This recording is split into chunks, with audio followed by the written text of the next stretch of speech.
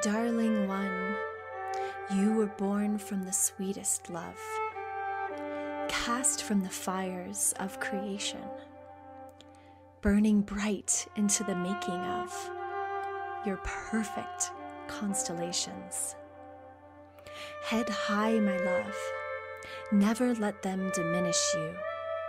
Stand tall in the power of your love.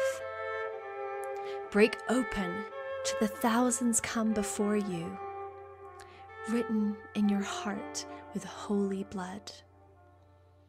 Keep going, my love. Hold tight to the scripture of your inheritance, your dreams born from ancient stone. Weave your magic star of wisdom, breathing life into hollow bones. Courage, my love.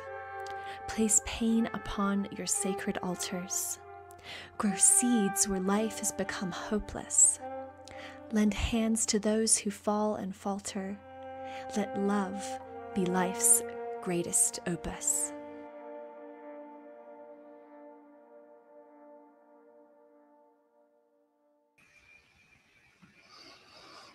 Hello, everyone. Welcome, welcome, welcome.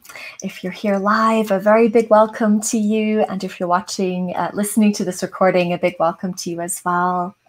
My name is Tara Wild, and I'm the creator of the Dreaming the Ancestors podcast series and community, where we talk about remembering and reclaiming ancestral stories, feminine wisdom, and earth magic. And today I'm very, very excited to welcome one of my beloved mentors, Karen Ward, to this this episode. And uh, this is the fourth episode of the second season.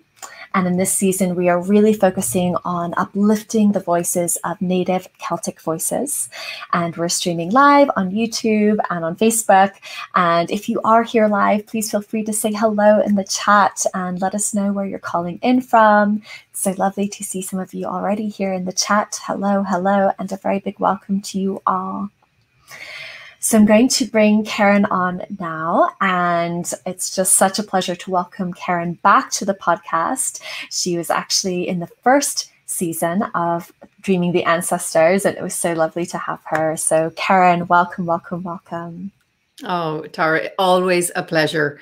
What you're doing here, the well, how you're bringing out this to the world and you're spreading it around our glorious planet, especially to those of us with Celtic soul, means so much to so many. And I, I want to give tribute to all that you do and to say hello to all those who are with us.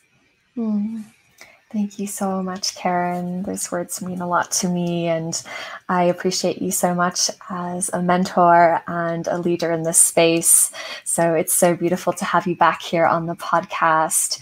And just a little reminder to everyone who's watching live you uh, have the ability to ask Karen any questions that you have. So please feel free to put any questions you have in the chat. And if we don't answer the questions by the end, I'll make sure to bring them forward. So, thank you for being here, Karen. And I'm going to read out Karen's official bio for everyone so you can get a sense of the wonderful work that she does in the world.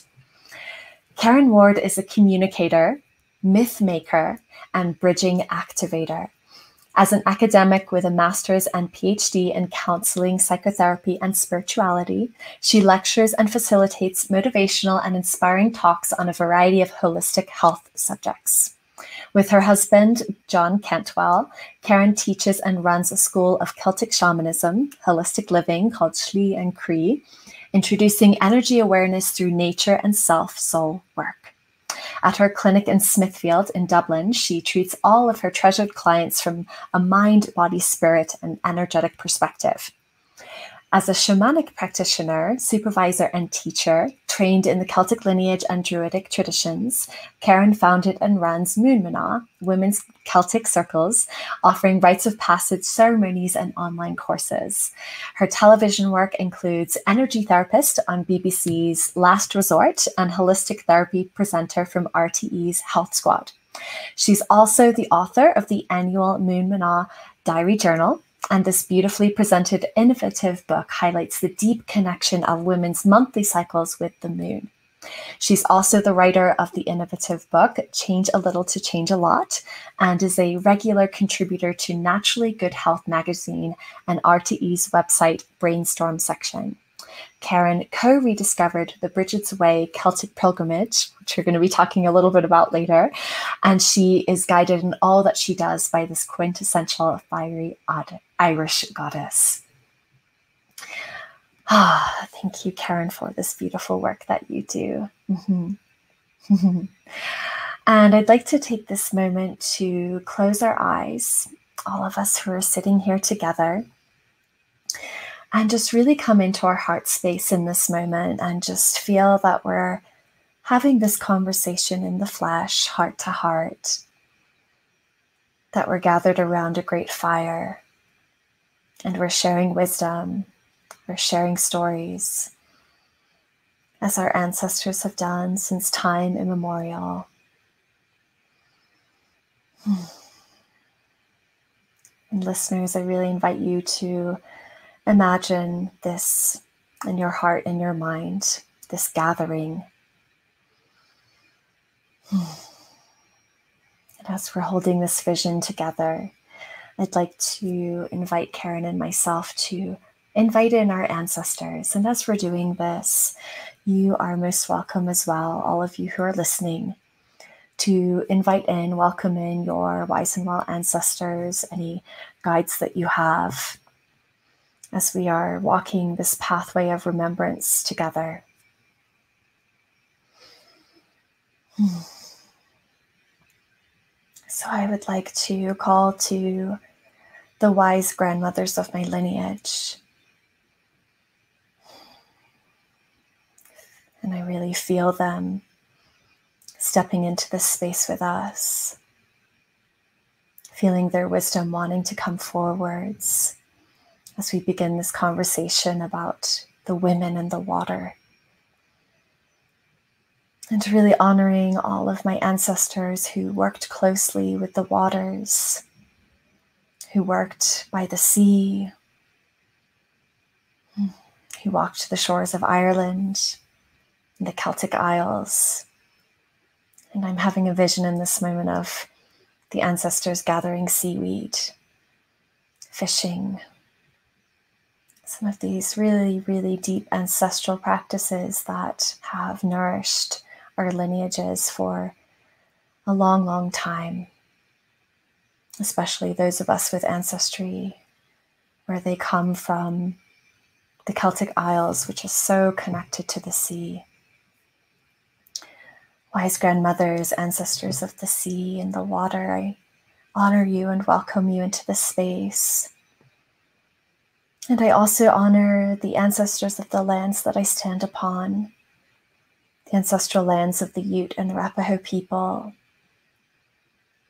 I deeply, deeply honor you in this moment, giving gratitude for the nourishment that I receive from these lands, the ways that I root into place here, this place that I have come to call home. And finally, I would like to welcome in my beloved goddess guide, Bridget. Really feeling Bridget's connection to the holy wells of the Celtic Isles. Welcome, welcome, welcome. Blessed be. And I will pass over to you, Karen. Well, Tara, I could think of no better way of preparing for today than having a dip in the sea. And I come to you from a very interesting part of Ireland. I'm in the Beara Peninsula, and some of you might be familiar with the Hag of Beara or the wise old wily crone. And as I had my dip in preparation, lo and behold, three dolphins swam into the bay. And that hasn't happened in 10 years. We see them out further out at sea, but for them to swim into the bay is unusual. And I noted that and I thought, ah, yes, we are in the flow. And then as I came in to come to you from this beautiful part of Ireland, the glorious half moon was in the sky, shining brightly. She's just the other side of the half moon now, um, beautifully waxing to her fullness. So it really spoke to me of the delicious signs and synchronicities that we're constantly in reciprocity with nature, with God, goddess, spirit, whatever you might refer to as that transpersonal element. And I'm always attuned, shall we say, to what's going on around us, as indeed were our ancestors so long ago. And it's so heartwarming and nourishing, Tara, to hear through you to all of us here that these practices are they, they're evolving and we modern women acknowledge the wisdom of our ancestors but we're teaching our little ones the same. Thank you so so much karen. Mm. so beautiful to feel the energy of the sea coming with you through this transmission together and the dolphins. Wow just so beautiful and so I'm just going to speak a few words to introduce this episode for today. And the title of this episode is The Wisdom of Women and Water. And this is something that has been coming up a lot lately in my personal practice, my spiritual practice. And it's a theme that uh, we're also currently exploring in my monthly membership called Wild and Wise. And the first thing that I really feel called to share about this topic is that in the ancient traditions of the Celtic Isles, there is a very strong connection between women and water, a very, very sacred connection. And this connection is mythically expressed in numerous medieval texts. It's encoded into the memory of the sacred wells, the rivers, the lakes, and lochs. And many bodies of water across the Celtic Isles are named after goddesses.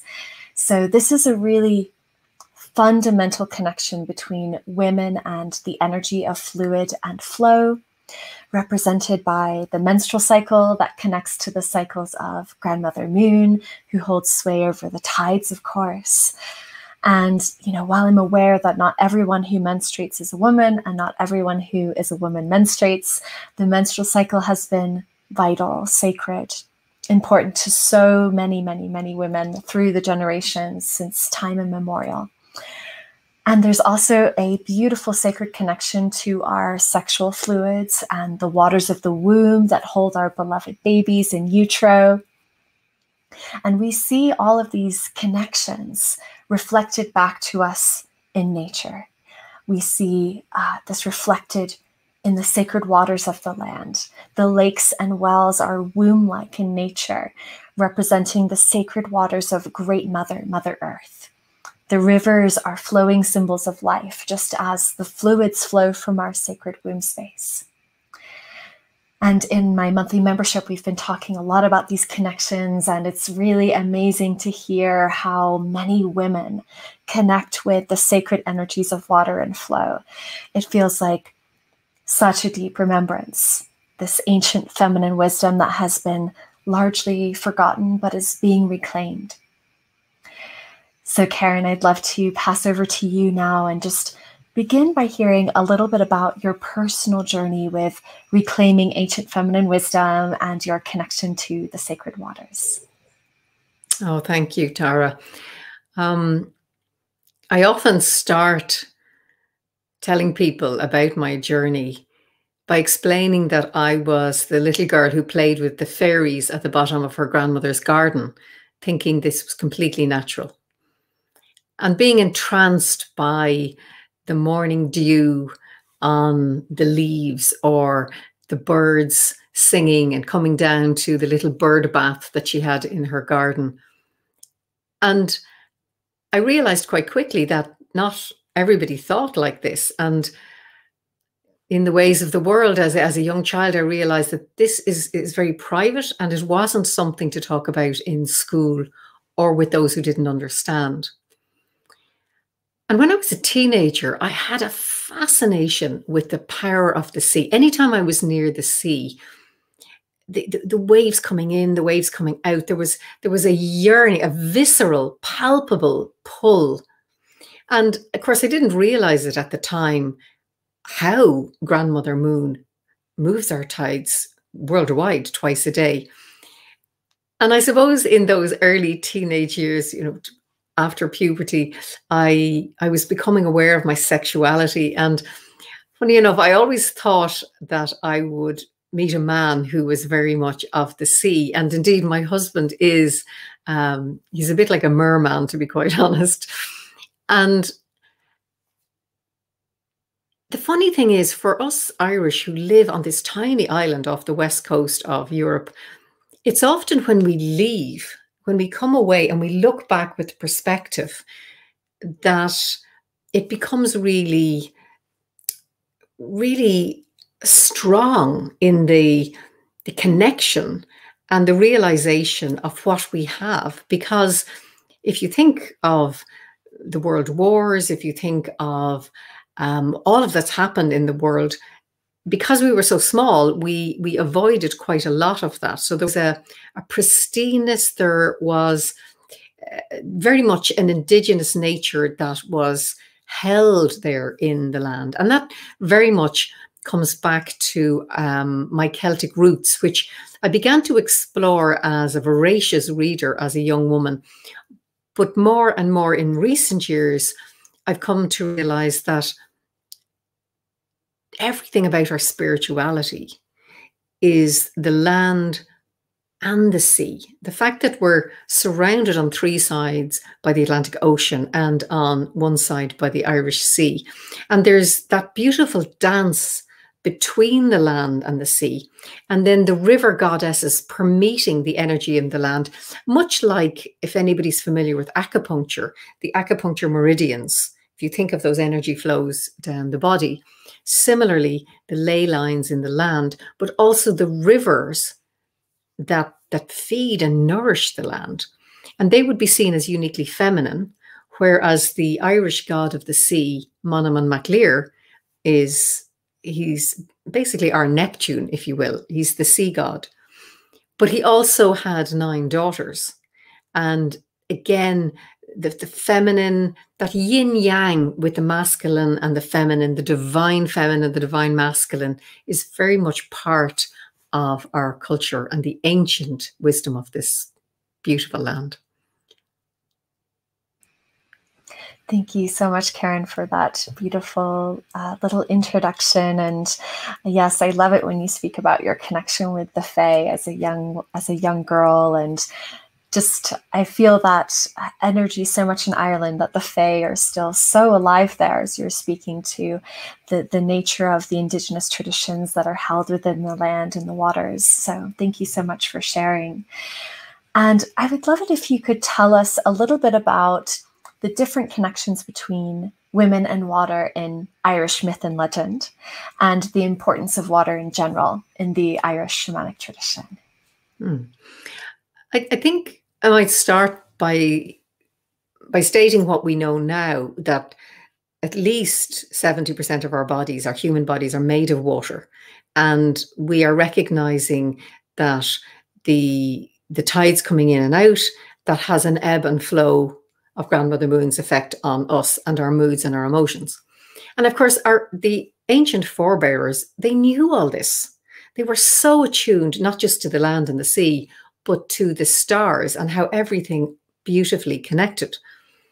And it is said that the first people that came to Ireland, now we're talking about before 10,000 years ago, and the, the island was covered in trees. It said that a red squirrel could travel from the lower reaches of Ireland all the way up to the tip in the north without ever putting their paws on the ground. It was a very wooded place.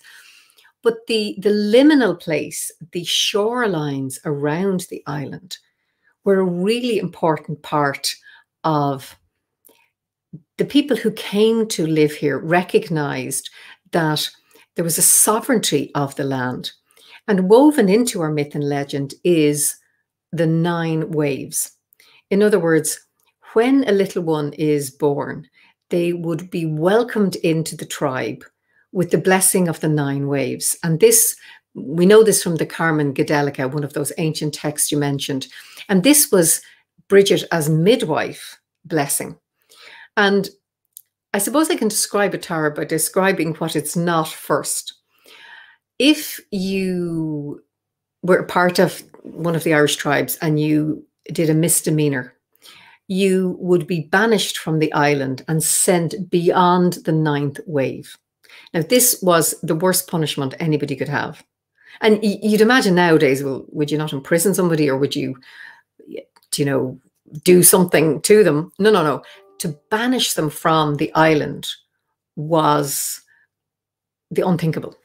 So, therefore, to welcome somebody in with the blessing of the nine waves was truly an immense honor. Not just you, little one, are now part of our tribe, but you are part of this land.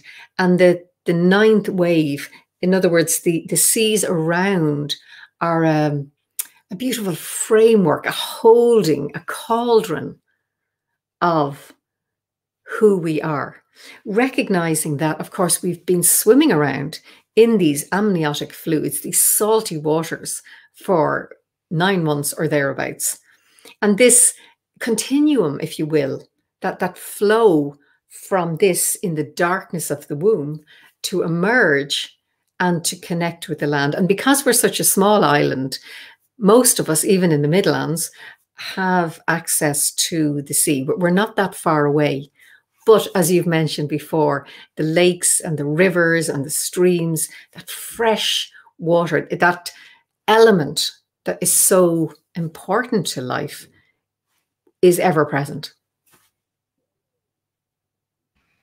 Thank you so much, Karen, for sharing. Uh, yeah, I actually did not know about the ninth wave and how people were welcomed into the tribe that way. So, so beautiful. And what was just coming to mind too, as you were sharing about the worst thing that could happen to someone is to be sent beyond the nine waves. uh, you know, I'm thinking about um, the this this whole wave of emigration that has happened uh, in the past hundreds of years, where people were leaving Ireland because of poverty, because of famine, and all of these different uh, traumas through colonialism and what have you. And um, you know, I do obviously a lot of work as an American with uh, you know healing that divide healing that divide in the ancestry. And it's so interesting to be i physically feel that separation of being beyond the nine waves and uh, and being disconnected from the land in that way. So that was really really interesting to hear. Thank you for sharing that karen mm-hmm. and i love that you were speaking about the sea and uh, just imagining to I- ireland as you know the the child like the that's surrounded by those waters of the womb right? So it's this macrocosm and microcosm that connects. Really really beautiful. And i'd love to go a little bit uh, into the the wells, the holy wells now. And I once read a survey that was carried out in the 1940s in Ireland that there are over 3,000 wells accounted for. And for a small island, of course, that's really a lot. And I know there are so many beautiful traditions surrounding the holy wells. So I'd love it if you could share a bit about the ancient traditions of the holy wells in Ireland and how these traditions have evolved with uh, the arrival of Christianity so from pagan times into more Christian times and the weaving of the two. Yeah, great question, Tara. The the wells, think in terms of a well as being a deep source. If we stand on a shoreline of the sea or the ocean or a lake, we see an expanse into the horizon. If we stand and we look down into a well, it goes deep into the source and the belly of Mother Earth. And our pagan communities would have used wells, as we can imagine, for sustenance, for to replenish the water in their bodies, for cooking, for cleaning. But there was a deep spiritual significance because the archaeologists would have discovered that the wells were there were stones put around them in such a way to denote that there was um, spiritual significance. It wasn't just let's get the water and make a nice cup of tea. There was so much more to it, and the the ritual of a cleanse an auric cleanse, our natural energy field, was really important. So, therefore, we weren't just cleansing our physical bodies, but they were, to all intents and purposes, cleansing themselves energetically from what we can understand from those archaeological excavations.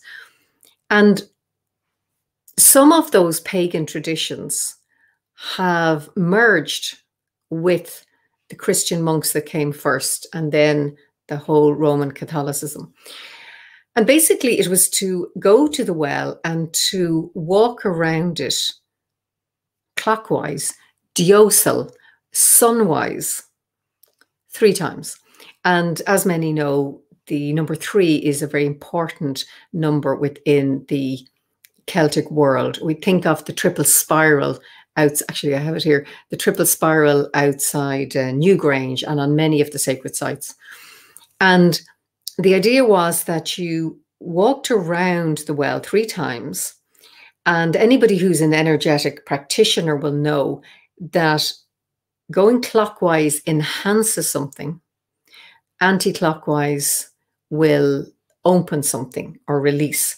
So, by walking in a pattern, if you will, clockwise, it was coming into what we might call reciprocity with the well. It was approaching it with respect, with honor. And then looking into the well. And of course, divination came into this with what can you see when you look into the well? A bit like we, we might have an idea of looking into a crystal ball, that same sort of principle. And from what we know, the wells were tended usually by women, and these would have been called the well maidens.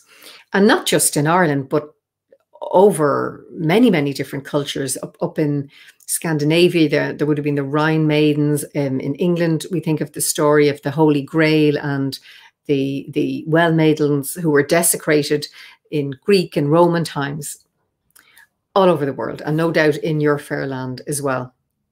And that really spoke of how water and women are inextricably linked. And as you beautifully mentioned so eloquently earlier on, that the the womb, the waters of our womb, the shedding of our menstrual blood, our moon time in that beautiful cycle with the moon and her phases, the same 28 day cycle or thereabouts.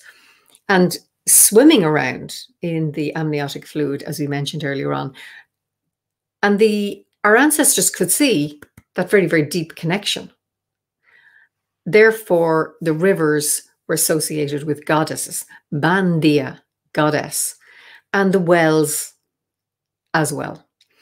When the Christian monks came, and they were said to be actually quite pagan in their way, if we think of the monks off the islands, the Skellig Islands, off the coast, the southwest coast of Kerry, in these really remote places, surrounded by the thrashing seas, as places of deep, deep spiritual contemplation. And with the wells, they, how would you say, they sat on top of the layering of what was already there. So a pattern day which would be practiced even now within the Catholic faith here, the pattern day of walking around the wells is still used.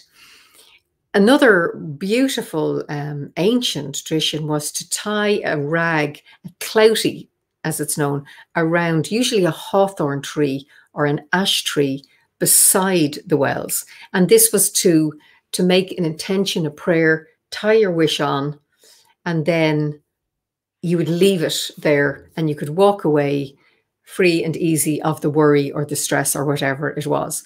And frequently you see that still on those trees around wells and hawthorn trees in general. They're usually around the border of, of a field or a property. So, in other words, there's been this glorious mix of the ancient evolving forward, mixing with the Catholic, and then coming out of the Catholic into this the nature-based spirituality that so many people are now returning to and exploring, which is just makes my heart sing. Such beautiful storytelling, Karen. Just so beautiful to hear your your transmission about that connection between the women and water and to feel that this is something that we find in many different cultures, not just in Ireland, but in other parts of the Celtic Isles, mm. other parts of Europe, other parts of the world. And this connection feels so deep. And when I was in Ireland in 2018, uh, I actually spent two months uh, staying beside one of Bridget's wells in Faughart and went to the well multiple times a week and had such a beautiful experience and it really changed my life. And I, I went to heal. That was my intention. I was having some physical health challenges which of course always have a, a deeper level of emotional spiritual rooting right that causes the dis-ease. And so yeah i went to the well and really really spent time with Bridget at, at the Sacred Well in Faughart, and it was incredibly healing. And I also got to go to a mass for St. Bridget, a Catholic mass. Mm. And we went and we walked around the well and it was very funny because the priest uh, the priest was going anti-clockwise around the well by accident, it seemed. and people were like, we are not doing that. and it was very funny. So I love that you brought in the the significance of going sunwise. and um, so yeah, I I had such a moving experience with Bridget at the Sacred Well in Faughart, and I would love. I know that you have a very special connection to Bridget uh, as well, and I would love to hear uh, more about that connection between Bridget and the sacred wells. Um, and, you know, for anyone who's not familiar with Goddess Bridget as well, maybe a little bit about who she is. Bridget is the, oh, she's such an archetypal energy of Ireland. Um, she is a triple goddess, but not like the maiden mother crone that we might think, but she has, there's three goddesses called Bridget and one is the smith, smithcraft, which nowadays you might think, really? But if you think back in those days, to be able to work the alchemy with precious metals and to turn them into cauldrons and tools and was indeed magical. She was also the inspiration for poets, for creation. I mean, again, so important. And then thirdly, she was the healer the midwife, uh, the the the carer, the the one who could perform miracles. And Goddess Bridget was very much revered as part of the Tuatha De Danann. And some would say she was the daughter of the Dagda. You hear other stories saying, was she the Dagda's wife? Was she his daughter in law? Most people would say a daughter. And then we come to Saint Bridget. And St. Bridget was an extraordinary woman who very much harnessed the energies of Goddess Bridget. Now, interestingly enough, in the medieval text you mentioned, there's very much stories about Bridget, there's very much stories about St. Bridget, but no one text links them. However, there are those, and I will be hold my hand up, I'm definitely one, who believe that Bridget, the woman, the saint, the matron saint of Ireland, was a woman incarnate of the goddess. Now, I suppose I could explain what I mean here is um, I think no matter what belief system you have in the world, you've probably heard of Jesus Christ and how in the Catholic faith, he is the Son of God made man. So, where's the women? And to me, Bridget was one of those women, that she was an extraordinary child and her father was a chieftain, and her mother was his bondswoman, or basically a slave. And he was married to somebody else. You can imagine that didn't go down too well. And when Bridget was born, it was said that her mother had one foot inside the house and one foot outside. So Bridget was born, her, the waters of her birth, the fluid broke, and she beautifully slid out on one side of the inside and outside. So again, that speaks of that liminal place. She was beloved of everyone, an extraordinary child. She used to give away her father's jewel encrusted sword to the lepers, and somebody would give her um, her food to whoever needed it. And there's oh, there's so many stories of her, but I think two maybe are pertinent. Um, it came time for her to marry. She was probably about 13. And very unusually, her chieftain father, for a slave child, an illegitimate child, as it was terribly known in those days, um, he offered a dowry for her. So suitors came from far and wide to take her hand. And Bridget told her parents, no, no, no, I, am not going to marry. I am, I'm going to establish a spiritual community. And of course, they probably thought, she's joking. She's just, you know, she'll get over it. But interesting enough, Bridget performed a very important miracle, I suppose we would call it, which archetype, arch, the archetypal energy of this really speaks to us down the ages because she plucked out her eye. All the suitors ran away, going, I'm not going to marry her. And when her father and mother said, oh, Bridget, of course, you don't have to marry anybody, have your spiritual life, she put her eye back in absolutely perfectly. In other words, she got what she wanted, not by making the other person. In other words, of their own volition, her parents gave her what she wanted. And similarly, when she travelled all the way down from Faughart Louth through Meath to Kildare to establish her community, and she would have been a slip of a girl, she asked the local chieftain there for some land. And of course, he thought, who is this girl? But to humour her, he said, Well, look, I'll give you the land that your cloak covers. And of course, Bridget says, Oh, thank you so much.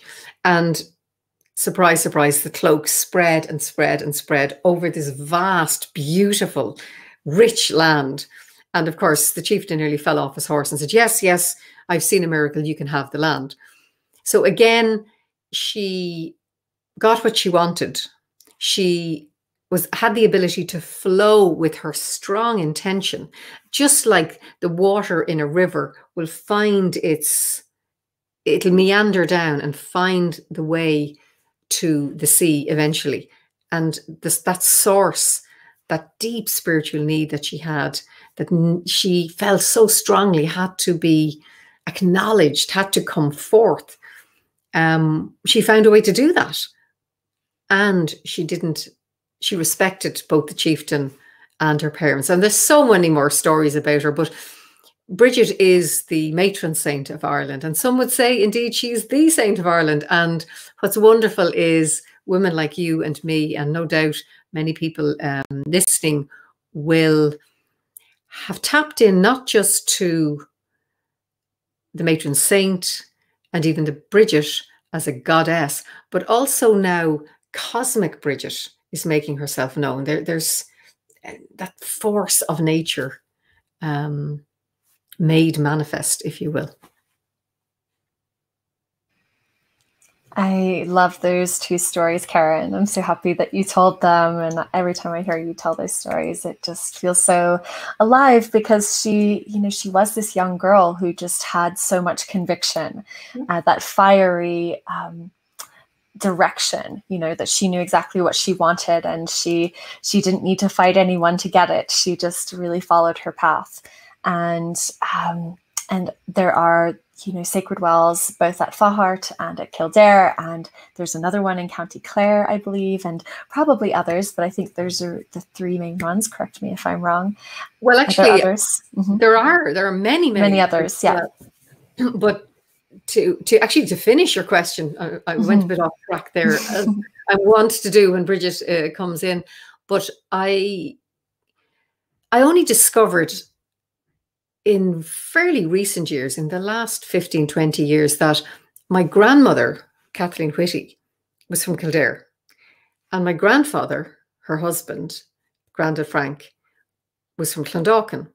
And both Kildare town and Clondalkin have Bridget's Wells and a round tower. So, if you will, the, the well is the womb and then the phallic tower symbol.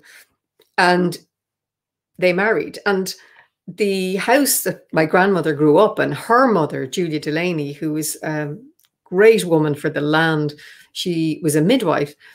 But literally they're within a stone's throw of Bridget's ancient fire temple. And then she has her two beautiful wells, the garden well and the healing well in Kildare. And then, of course, in Clondalkin, which is a suburb of Dublin, has a beautiful Bridget well, which was saved by the locals. And there are the one in Clare is fabulous. There's a, another amazing Bridget's well in Mullingar near Uisneach, which is the the navel, if you will, the centre of Ireland. But there, there, there are so many even more hidden wells on people's land, or you hear, oh, that's Bridget's field, that's Bridget's stream, that's Bridget's. She's all over the island. And she extends into Wales, she extends into, she's a connection with Glastonbury Tor, the Bridget's Mound nearby. She goes all the way up to Anglesey, Scotland. Uh, yeah, she spread her cloak far and wide. Oh wow, I love that ancestral story, Karen, about your your grandmother and grandfather, and so it's so amazing when uh, certain guides, you know, certain goddesses and beings, these spiritual multidimensional beings, really call to us, and uh, we were actually talking about that uh, in the last podcast episode with Kathy Jones. She was talking about the the Lady of Avalon really calling people at this time, and I feel similarly what we're talking about with Bridget is she's really calling to people at this time and calling us through the waters, through the sacred fire, through these uh, through these elements. Yeah, it's just really beautiful to.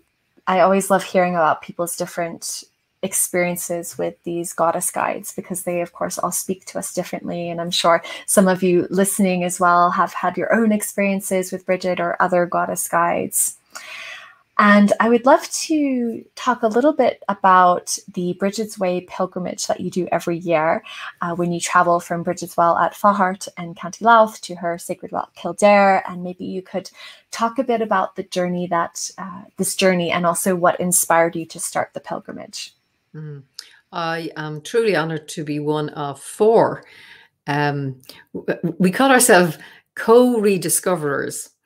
Um, I was at the Bridget of Faughart Festival, which was set up by a wonderful group of people, but especially the Celtic scholar Dolores Whelan.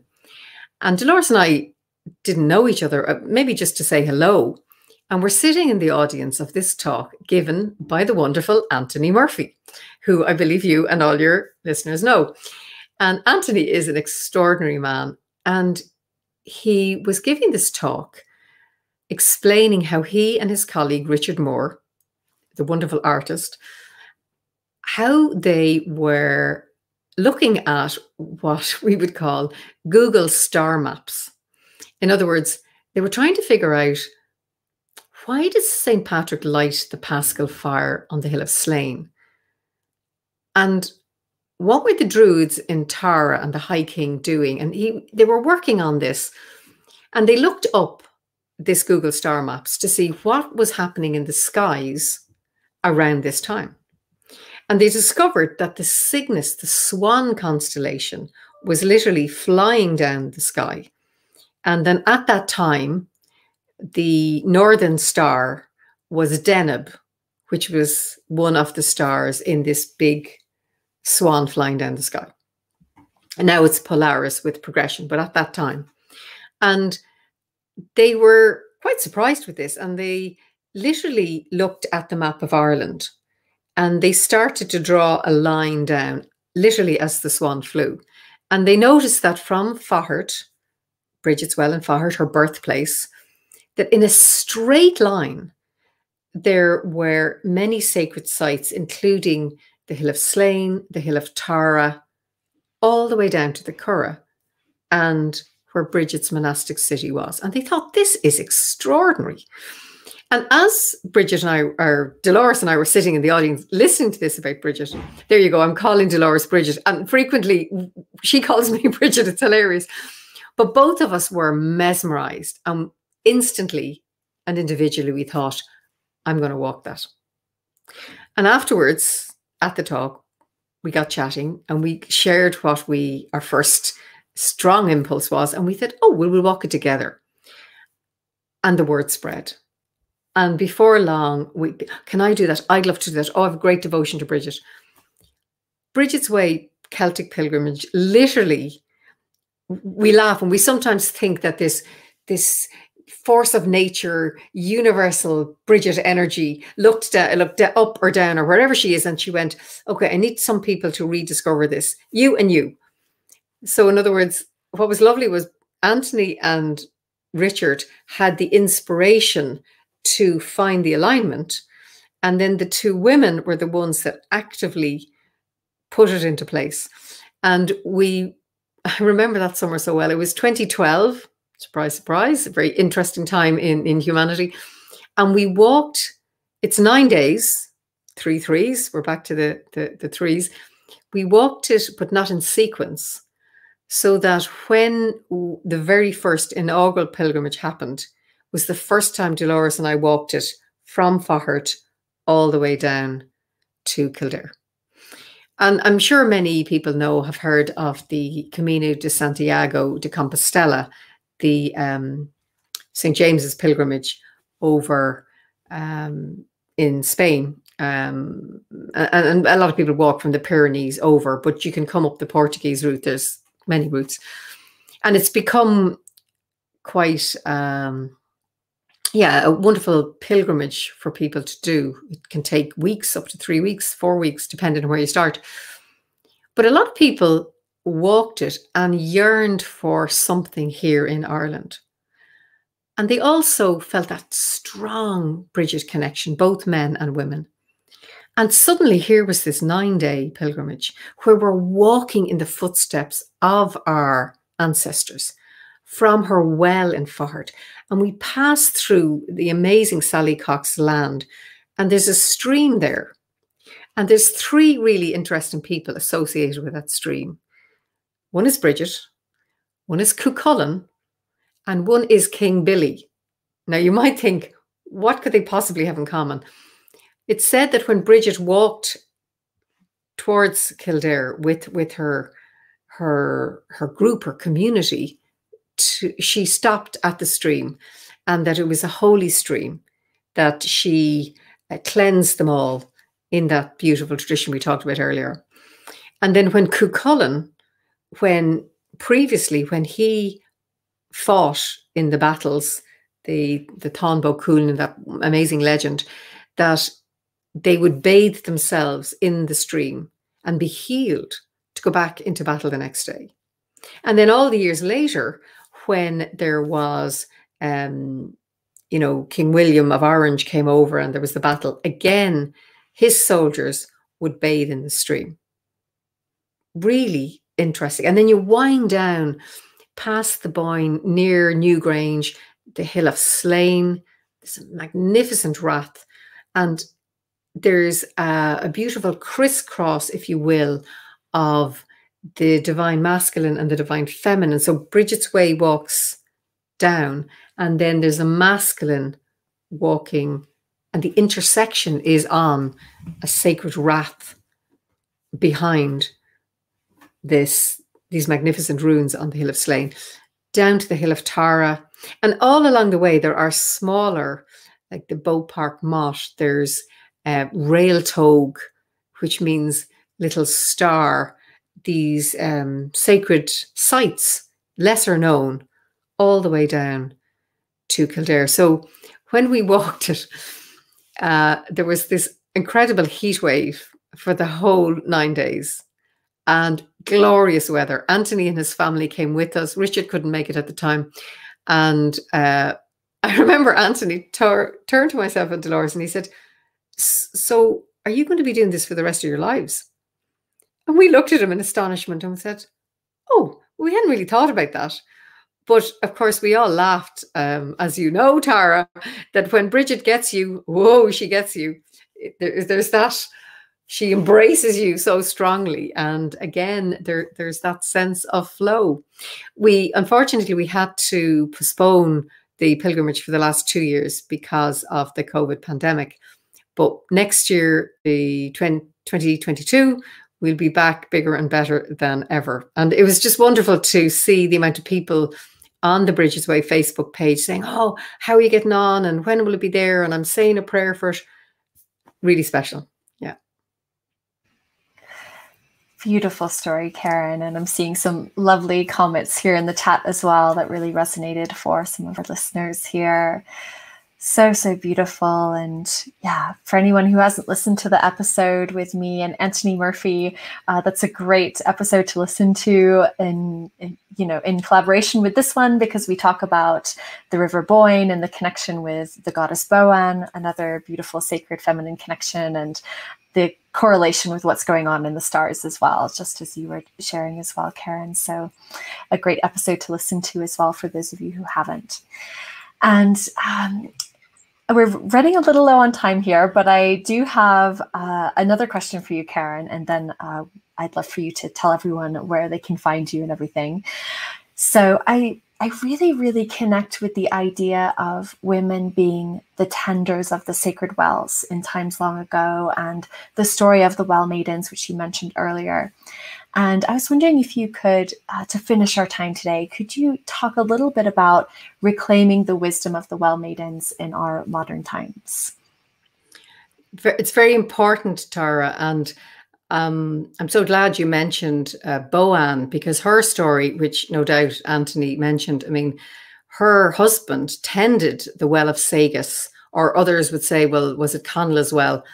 And of course, the salmon of wisdom fed on the hazel, the hazelnuts that fell from the nine trees surrounding it. So this was very much inextricably woven into the, the legend and lore of Ireland.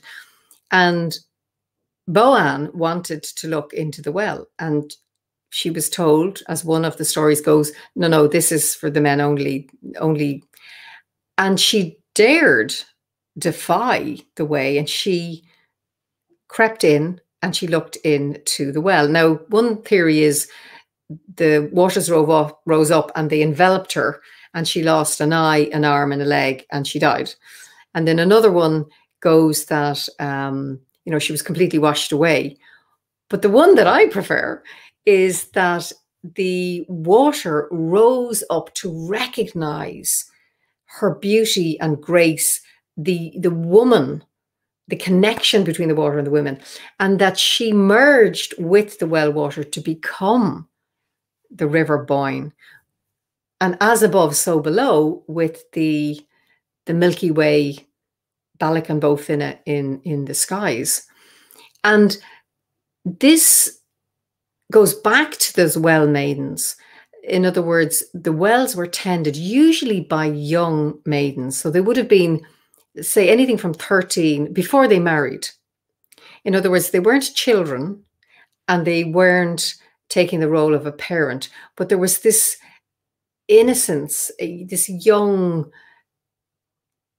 yes, the tender age that they could be of service. So anybody who came to the well, they would offer them sustenance with the water or with food, and they would tend the wells and make sure that, you know, um, leaves weren't falling into it, or you get the idea.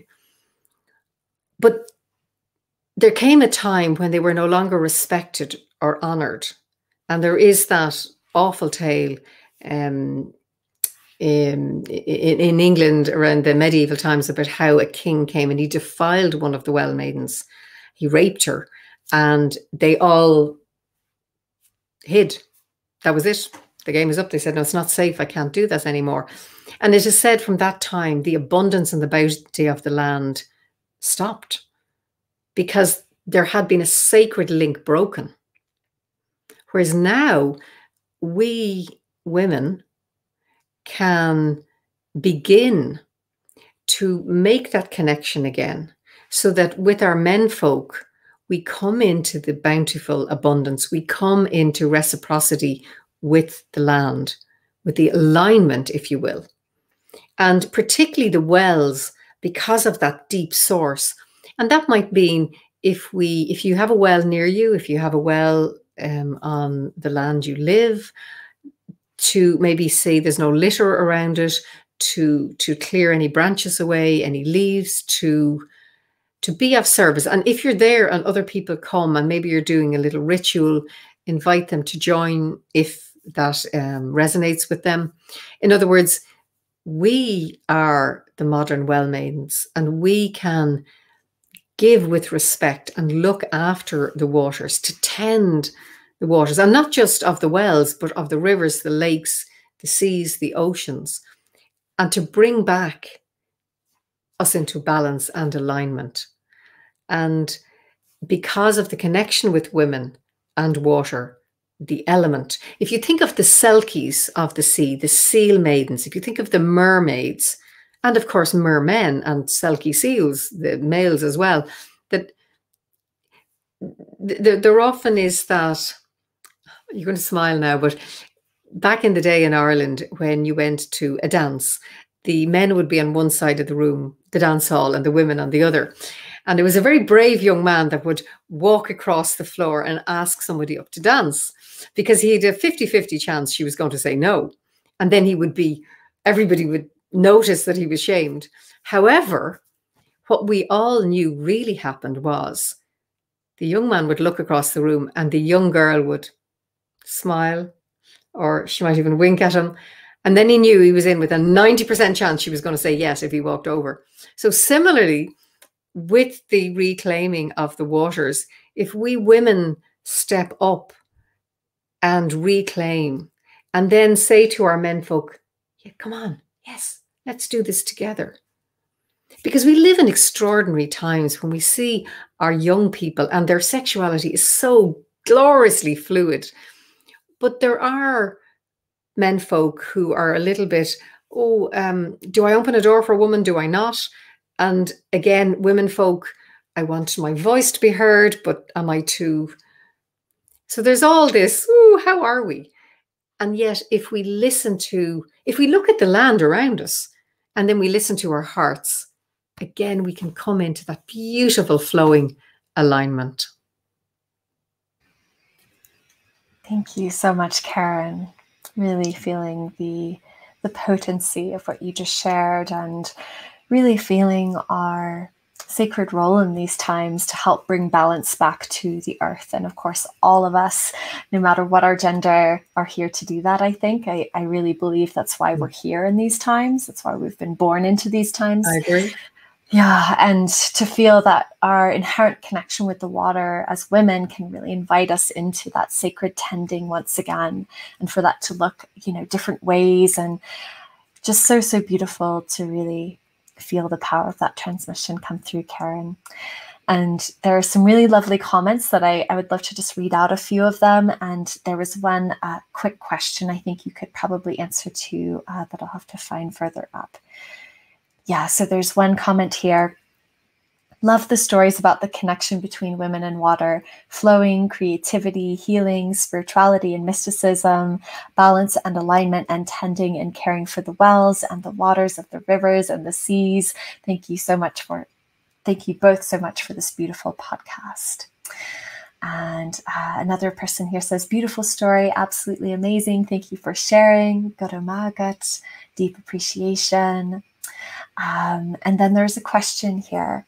My question about the well, if the underground place is the womb, then would the long part be the vaginal space rather than the phallic shape? Yeah. Yes. We're, we're both absolutely. nodding. yes. Yeah, yeah, absolutely. Well done. Well said. Yes. Yeah. And I'm yeah. so glad you brought that up because, um, yeah, if if the the land the the vaginal yeah the vaginal absolutely. And and that's why the entrance is so important. And you can imagine why it was so important that it was tended because this is a precious part of our physical bodies and a precious part of the earth. Think of the beautiful cover over the the um, well in glastonbury. You know the chalice well. It's it's a, a very beautiful ornate metal cover with the grill that that comes down. And some people say, "Oh, I mean, I don't know if there should be a cover there," but again, it, it, it's a respectful tending of it. Therefore, as you go forward, um, yeah, it's all about respect. Mm-hmm. Yes, and something I find really interesting too is to think about the actual the well, the opening that you see above ground as the um, I've lost the word from my mind. The uh, yes, the vulva. Thank you, Karen. I'm glad you knew what I was trying to say, and uh, and how they have Sheila na carved uh, at some of the sacred wells. To me, that connection really um, is very very interesting and beautiful. Mm-hmm. Yes, um, great. So I just see uh, another comment here. I love the romantic examples, and I also feel sisterhood woven into this. Deeply thankful. Thank you all for your lovely comments. Those of you who are writing comments, so, so beautiful to hear your voice. And I would love to give you this opportunity, Karen, to tell everyone where people can find you and ways that they can work with you and anything else that you'd like to share with everyone. Oh, thank you so much, Tara. Well, I think the the Moon Mná website is a very good way. And uh, Moon Mná, M N A, is the Irish Gaelic, that beautiful poetic language. It's the word for women in Irish, Mana. So moonmna.ie. And um, we, we have loads of ways of engaging. We, we have a lot of wonderful free things that you can do. You can come to, I have an Ancient Irish Wisdom for Modern Women series that's on once a month, half an hour, something like this. Um, there's the if you want to delve a little bit deeper into the well, there are the moon ritual self ceremonies, and that's self paced. So every month there's a theme, and you get the little videos and the audio and the written, and then you bring the sacred into your home. And, and again, it's it's very uh, reasonably priced. There's the Goddess Spiral of the Year, and very soon I'm going to be doing the autumn equinox, which is so dear to my heart. I love this time of balance in our year. And then once a month, I do the lunar gatherings. And it's interesting, Tara, you've just mentioned Sheila na gig because at the full moon coming up quite soon, in fact, on the eve of the full moon, I am going to offer the Sheila na gig rites. So these are rites of passage to embrace your sacred sexuality in with your holistic being. And it offers an opportunity if anybody needs some healing within their sexual journey for that as well. So that is fantastic. And if anybody wants to find out about this, it's all on the Moon Instagram page and the Moon Facebook page. And then, of course, the, the, the, the cherry on the cake, so to speak, is if any of you want to hear the call to be circle facilitators. I teach women to be Moon Mná circle facilitators, and it's this glorious journey that takes 13 months. Are we surprised at the number? Oh no. Uh, 13 lunar cycles in a year. And that is, yeah, bringing this ancient wisdom to the women in your locality and very much women whose hearts beats with Celtic soul. So that would be Moon Mná. And then if you're interested, the Irish Celtic shamanic school myself and John run is Slí an Chroí. That's S L I A N C H R O I dot I E. And uh, yeah, you might enjoy exploring that. Thank you, Karen. Uh, yes, I've taken Karen's um, circle facilitator training, and it's so, so mm. beautiful. Mm. And I'm seeing a comment here from Bronwyn as well. The Moon Mná work is amazing for women. Yes, it is. Hi, Bronwyn. Um, and uh, I also just wanted to mention to everyone as well um, that I am actually doing a beautiful activating sacred feminine waters singing the ancestors session on Friday. So for those of you who aren't familiar with that, my singing the ancestors sessions are 60 minutes and it's basically a sacred sound journey. So we'll be going into the theme of activating the sacred feminine waters, very appropriate for this conversation today as something that you can do to continue this connection. So yes, please do go and explore all of Karen's beautiful work work and go explore uh, this offering that I have on Friday. There's a lot of ways that you can continue to step into this work and reclaim this wisdom.